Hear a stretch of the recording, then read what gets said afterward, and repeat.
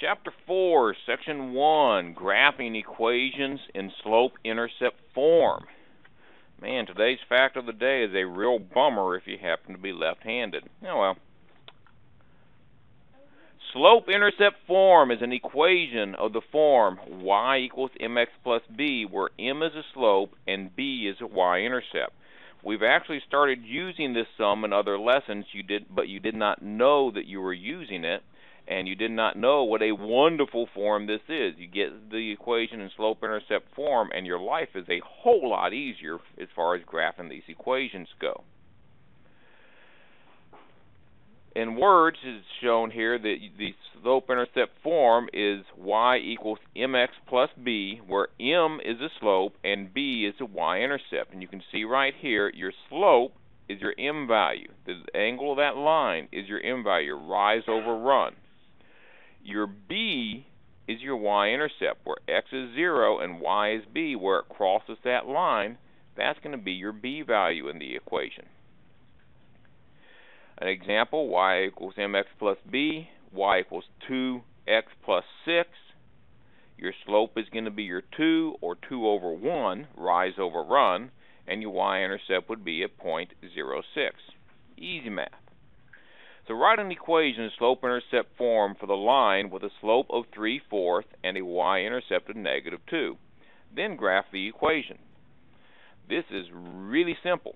All you do, you take the y equals mx plus b, you put 3 fourths in for your m, and then you plus the negative 2. Hey, that's an ugly problem. Let's make the ugly problem pretty by multiplying those signs, the positive times the negatives to negatives, so y equals mx plus b will end up being y equals 3 fourths x minus 2.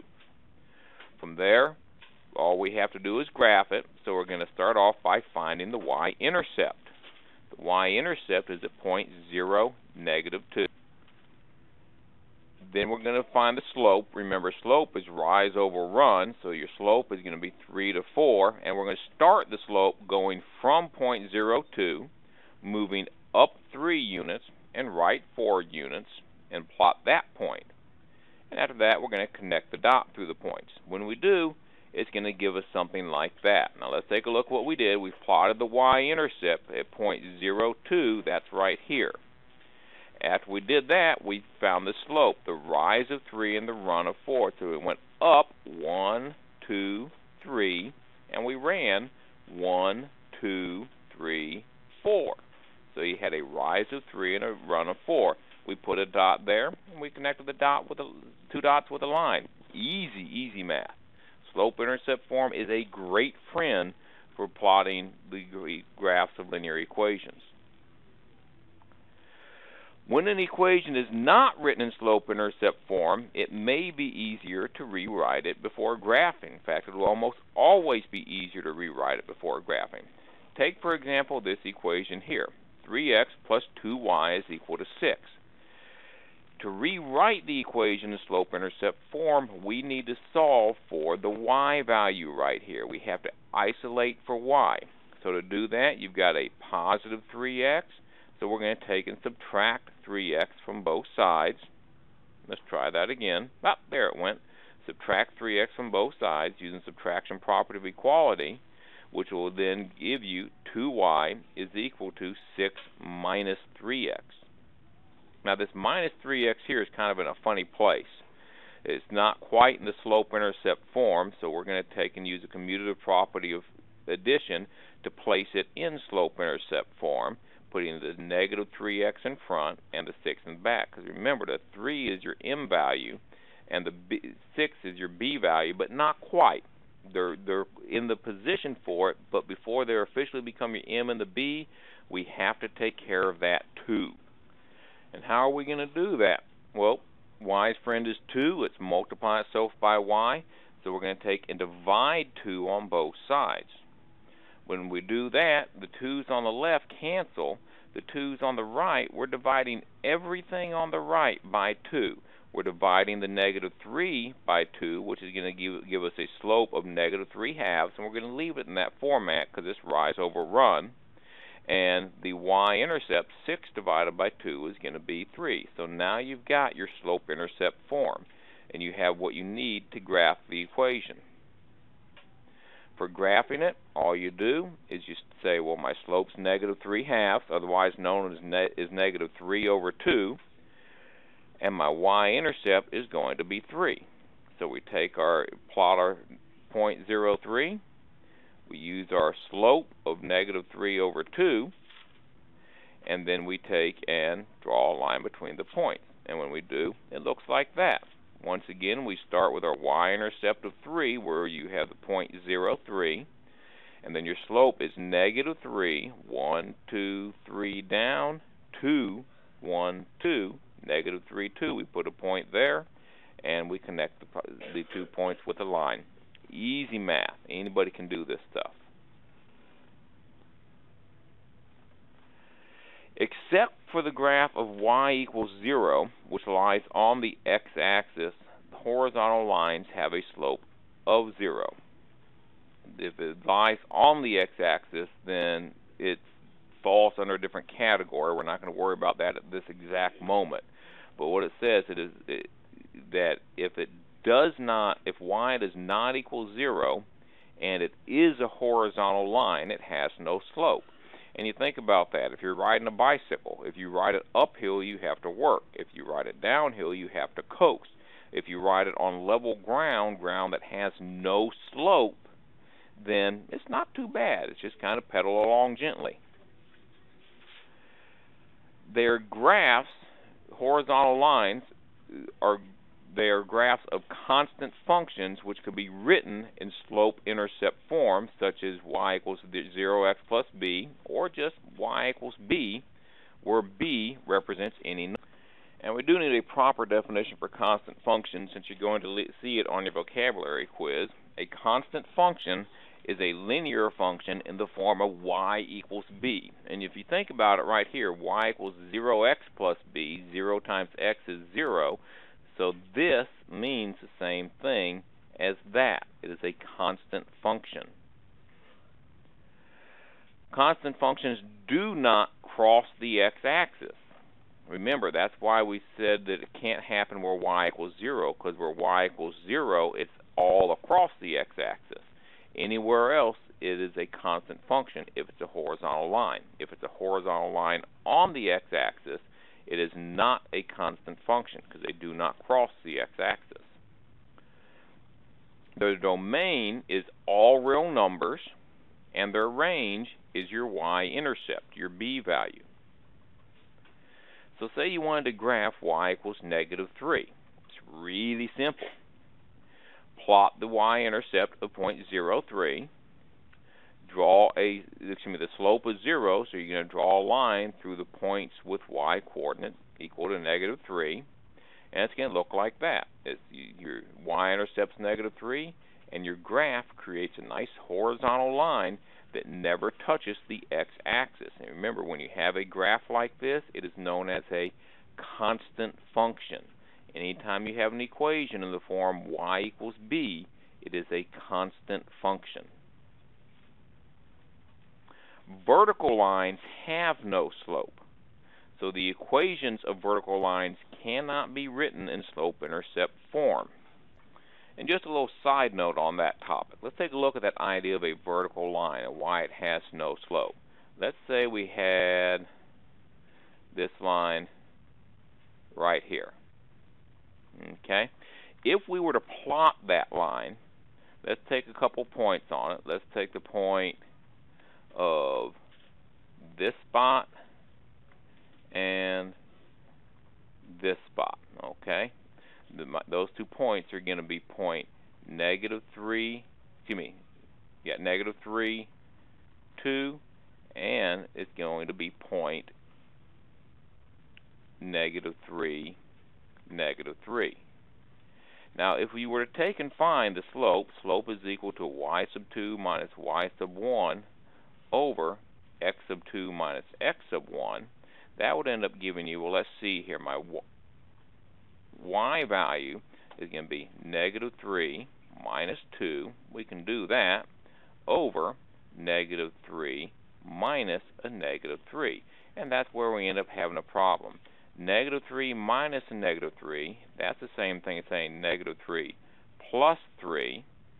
And negative 3 plus 3 is equal to 0. So you'd end up with negative 5 over 0. And anytime you have a fraction where you have a numerator over 0, your answer is always what? It is always undefined. And that is why vertical lines have no slope.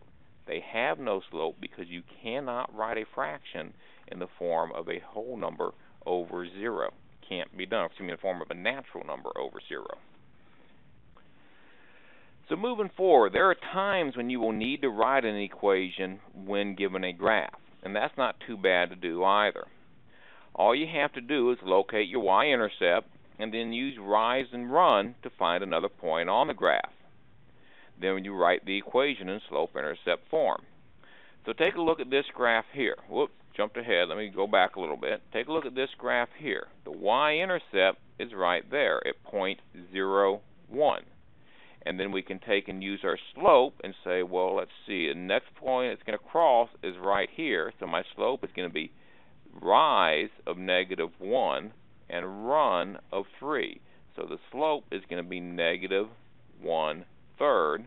The y-intercept is going to be at point 1, so I'm going to have the equation of y equals negative 1 third x plus 1, negative one-third x plus 1. That would be point C. Therefore, C is going to be the correct answer. Your y line crosses the y-axis at point zero one, so the y-intercept is 1, and the answer is either A or C, it says. Well, let's see, why would it say it could be A?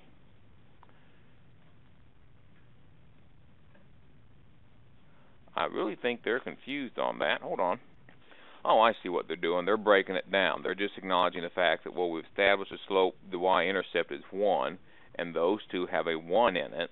And then they said, well, that's just step 1. From there, we're going to move on to step 2. Step 2 says the slope is 1 third, so because, or negative 1 third, so because the slope is negative 1 third, we already know we've got these two ones here. The only one that has negative 1 third is that one, so the correct answer was going to be C when it was written Y with MX plus B format. To check it, you could say, well, the graph passes through point negative 3, 2, and if the equation is true, this should be a solution.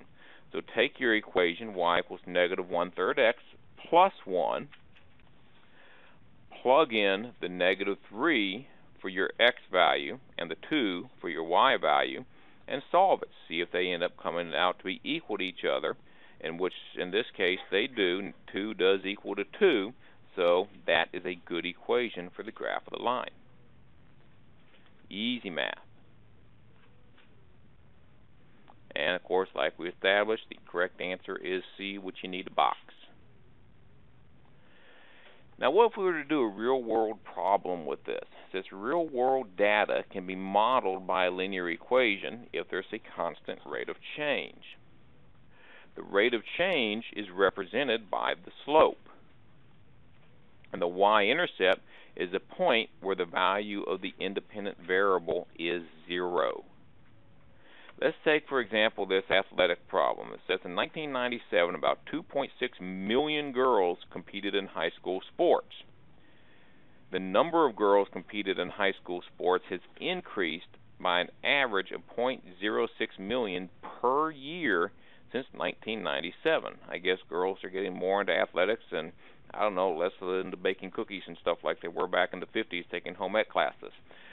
Personally, I like cookies, but hey. Use the information at the left of the high school sports. Write a linear equation to find the number of girls in high school sports after 1997. 1997 is your baseline year. It's your zero year. So what we're going to do is we're going to take words and we're going to say, well, the number of girls competing equals the rate of change times the number of years plus the starting amount. The rate of change, we're going to let G equal the girls competing. We're going to let N equal the number of years since 1997. So we'll have G is equal to, the rate of change was 0.06 right here, times the number of girls, and don't do that. Don't use an X for multiplying when you have variables, plus the starting amount. The starting amount was a 2.6 million. So you have get yourself your nice pretty equation y equals 0.06 n time plus 2.6 and that gives you everything you need to graph the equation. The y-intercept is where the data begins, and data begins right here at 2.206, or, or excuse me, point at 2.6, and then your slope is a rate of 0.06 over 1. Now the 0.06 over 1, that could be a little bit of a challenge to graph, but I think you could work through it. And you would get to a point that says, we'll estimate the girls competing in 2017. Well, you start at the zero year right here of 1997. 2017 is 20 years after 1977. So all you have to do is take your equation put 20 years in for your n value, your number of years, and multiply it out, and you would find that about 3.8 girl, million girls will be competing in high school sports in the year 2017. That's assuming, of course, that there's the same rate of change throughout that time period. Who knows? We might go back to baking cookies. Not likely, though. Your homework for this section is page 220, number 17 through 37 odd, number 71 through 83 odd. And don't worry about this justify each step thing. I think we've pretty well beat that horse. So let's move on and just give me the solution, solve the problems. You should know the steps by now. If you don't, you're probably in a bit of trouble as it is. Your hat is fabulous. How about if we don't give us a ticket today and just a warning? License and registration. Okay.